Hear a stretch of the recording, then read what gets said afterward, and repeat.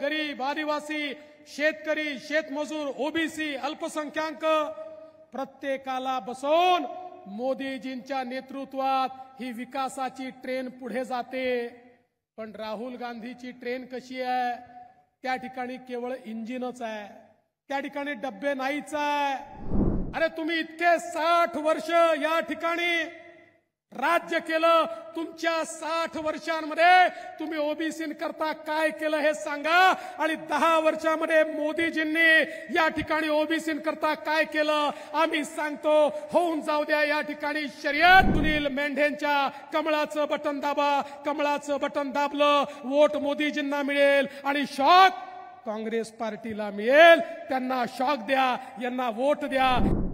भारतरत्न महामानव डॉक्टर बाबासाहेब आंबेडकरांना त्यांच्या जयंतीच्या निमित्ताने नमन करतो. भारतरत्न डॉक्टर बाबासाहेब आंबेडकरांनी या देशाला एक असं संविधान दिलं ज्या संविधानाने समतेचं राज्य आणलं प्रत्येकाला जगण्याचा अधिकार दिला संधीची समानता आणली आणि देशाचे प्रधानमंत्री माननीय मोदीजी म्हणतात की डॉक्टर बाबासाहेब आंबेडकरांचं संविधान होतं म्हणून चहा विकणारा पोरगा आज देशाचा प्रधानमंत्री झाला. त्या महामानवाला आपण अभिवादन करूया. बंधू भगिनींनो ही निवडणूक ग्रामपंचायतची नाही नगरपालिकेची नाही जिल्हा परिषदेची नाही विधानसभेची नाही ही निवडणूक देशाच्या लोकसभेची निवडणूक आहे. देशाचा नेता निवडण्याकरता ही निवडणूक आहे. देशामध्ये कोण प्रधानमंत्री असेल त्याकरता ही निवडणूक आहे.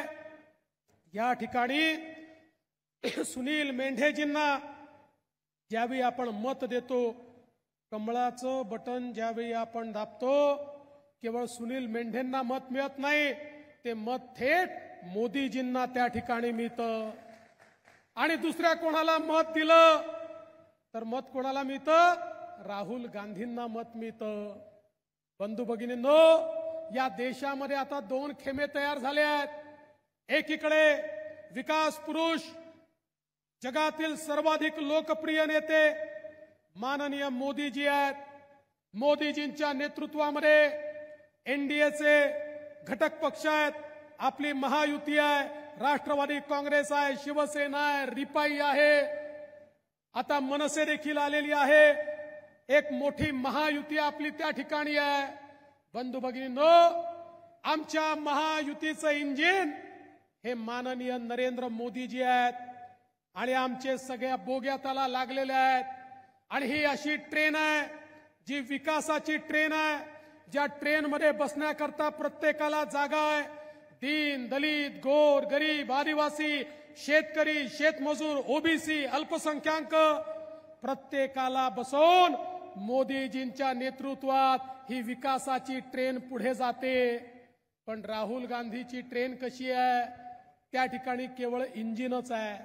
त्या ठिकाणी डब्बे नाहीच आहे. आता मला सांगा इंजिनमध्ये कोणाला बसण्याची संधी असते का? इंजिनमध्ये केवळ ड्रायव्हर बसतो. बरं तिथे इंजिनही एक नाही. राहुल गांधी म्हणतात मी इंजिन आहे. शरद पवार म्हणतात मी इंजिन आहे. उद्धव ठाकरे म्हणतात मी इंजिन आहे. ममता बॅनर्जी म्हणते मी इंजिन आहे. लालू प्रसाद यादव म्हणतात मी इंजिन आहे. बरं यांचे सगळे इंजिन विरुद्ध विरुद्ध दिशेला चाललेले आहेत. कोणी इंजिन दिल्लीकडे ओढतं तर कोणी बारामतीकडे ओढतं. कोणी मुंबईकडे ओढतं तर कोणी कलकत्त्याकडे ओढतं. यांचं इंजिन जागेवरनं हलतही नाही डुलतही नाही बोलतही नाही चालतही नाही अशी ठप्प गाडी घेऊन राहुल गांधी या ठिकाणी आलेले आहेत. आणि म्हणून बंधू भगिनींनो मोदीजींच्या विकासाच्या गाडीमध्ये बसून आपल्याला पुढे जायचं आहे त्याकरता खऱ्या अर्थानं ही निवडणूक आहे. मी आज आपला फार वेळ घेणार नाहीये. आपल्याला सगळ्यांना अमित भाईंना ऐकायचंय. पण काल राहुल गांधीजी या ठिकाणी आले होते. एकतर राहुल गांधीजी काय बोलतात हे आम्हाला समजत नाही. कधी ते म्हणतात कधी ते म्हणतात इकडनं आलू टाकला तर तिकडनं सोनं निघते. कधी ते विचारतात पांडवांनी जीएसटी लावला होता का? आता अशा प्रश्नांची काय उत्तर द्यायची? आणि काल इथे येऊन राहुल गांधी ओबीसींच्या संदर्भात बोलले. मी राहुल गांधींना आव्हान देतो अरे तुम्ही इतके साठ वर्ष या ठिकाणी राज्य केलं तुमच्या साठ वर्षांमध्ये तुम्ही ओबीसी करता काय केलं हे सांगा आणि दहा वर्षामध्ये मोदीजींनी या ठिकाणी ओबीसी करता काय केलं आम्ही सांगतो होऊन जाऊ द्या या ठिकाणी शर्यत. अरे तुमच्यापेक्षा दहा पट जास्त गोष्टी आम्ही केल्या म्हणून आज या देशातला ओबीसी समाज आमच्या पाठीशी आहे. माननीय मोदीजींचं मंत्रिमंडळ देशाच्या स्वातंत्र्यानंतरच्या इतिहासात सर्वाधिक ओबीसी मंत्री असलेलं मंत्रिमंडळ आहे. या महाराष्ट्रामध्ये इतके वर्ष तुमचं राज्य होतं. तुम्ही ओबीसी मंत्रालय बनवलं नाही. ज्यावेळेस आमचं राज्य आलं मी मुख्यमंत्री झालो त्यावेळेस ओबीसी मंत्रालय बनवलं. या महाराष्ट्रामध्ये आजपर्यंत ओबीसी हिताचे तीस निर्णय झाले. या तीस निर्णयापैकी अठ्ठावीस निर्णय हे माझ्या कार्यकाळामध्ये या ठिकाणी झाले आणि एकनाथ शिंदेजींच्या कार्यकाळामध्ये झाले. बंधू भगिनींनो ओबीसी करता हॉस्टेल असेल ओबीसी करता शिष्यवृत्ती असेल आमच्या ओबीसी विद्यार्थ्यांना हॉस्टेलमध्ये जागा मिळाली नाही तर स्वयंसारखी योजना त्या ठिकाणी असेल. त्यांच्या आमच्या ओबीसी विद्यार्थ्यांना त्या ठिकाणी स्कॉलरशिप असेल. आमच्या ओबीसी विद्यार्थ्यांना त्या ठिकाणी पीएचडी करण्याकरता एम फिल करण्याकरता शिष्यवृत्ती असेल. आमच्या ओबीसी विद्यार्थ्यांकरता महाज्योती सारखा एक महामंडळ असेल. आमच्या ओबीसी विद्यार्थ्यांना कर्ज मिळावं म्हणून त्या ठिकाणी व्यवस्था असेल. ही प्रत्येक गोष्ट महायुतीच्या सरकारने केली. इतके वर्षात तुम्ही कधी ओबीसी कडे बघितलं देखील नाही. बंधू भगिनींनो हे लोक संविधानाच्या गोष्टी करतात. पण या संविधानामध्ये पहिल्यांदा ओबीसी आयोगाला संवैधानिक दर्जा देण्याचं काम हे देशाचे प्रधानमंत्री माननीय मोदीजींनी केलं. नाहीतर संविधानामध्ये ओबीसीला जागा कुठे होती?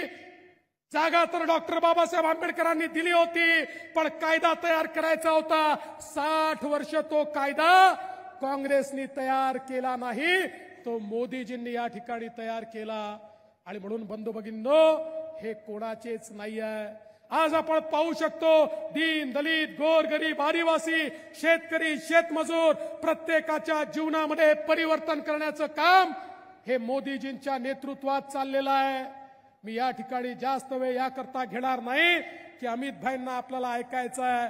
पण तुम्हाला एवढीच विनंती करतो आज या ठिकाणी आपल्याला सुनील मेंढेंसारखा एक अतिशय सामान्य घरचा आपला कार्यकर्ता खासदार म्हणून तुम्ही निवडून दिला.